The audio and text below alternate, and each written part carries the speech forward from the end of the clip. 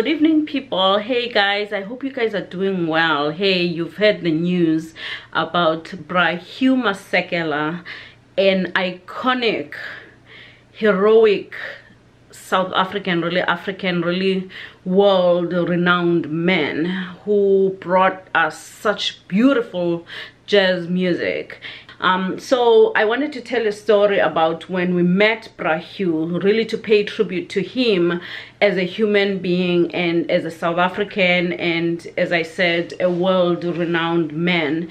Um, so it was in 2010 he had a, a, a, concert here in North Carolina. So whenever there's a South African musician or an artist we try and be as supportive as possible. Um, so he came to North Carolina and uh, we thought let's go to his concert. So after the show we decided to go and meet his crew. And uh, when we met his crew he took a while because he was in the dressing room I, I, guess like dressing up after he finished the show and really just taking a break. So we met his crew and we had a wonderful time uh, with his crew. And he finally came out um, uh, at the back of the bus fortunately he was staying not too far. This was like really late at night. He was staying not too far from the theater where he was performing. So um uh, so we met him and uh he he was such the most humble person. I shouldn't say the most but he was very humble.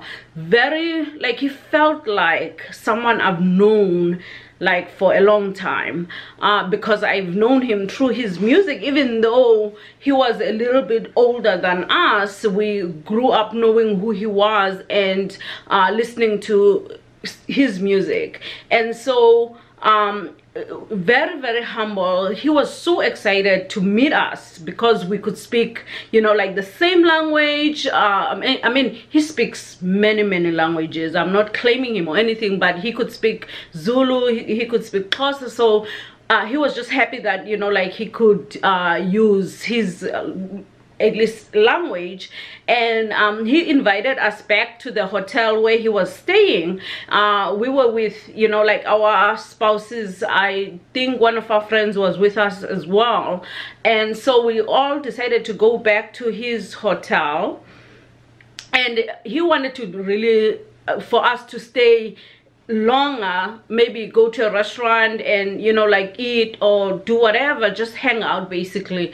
But guess what? We live in a farm in north carolina. I'm using the word farm. It's a city but these are small towns. And so um, a lot of places will close especially during the week. So when we got back to the hotel he um, he uh, they were closed. So we really didn't get even a chance to have a drink. But we actually sat at the lobby and just talked about who we were where we come from and blah blah blah. And uh, he was like really really a humble person. Um, obviously a lot of people there's a lot of stuff out there about Bra-Hugh what he was able to do for South Africa uh, uh, really his dedication to and uh, to the struggle of the people of South Africa. And uh, so there's a lot of stuff out there about him. He wasn't just a musician. He was a conscious musician.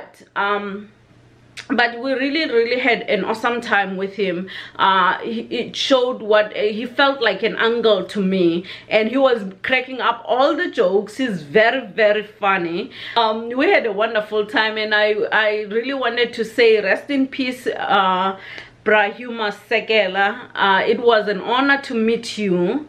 It was an honor to listen to your music. And it's an honor to know that you come from the same land that I come from. And I'm so so happy that I got to meet you. And I may you rest in peace. You in Xhosa we say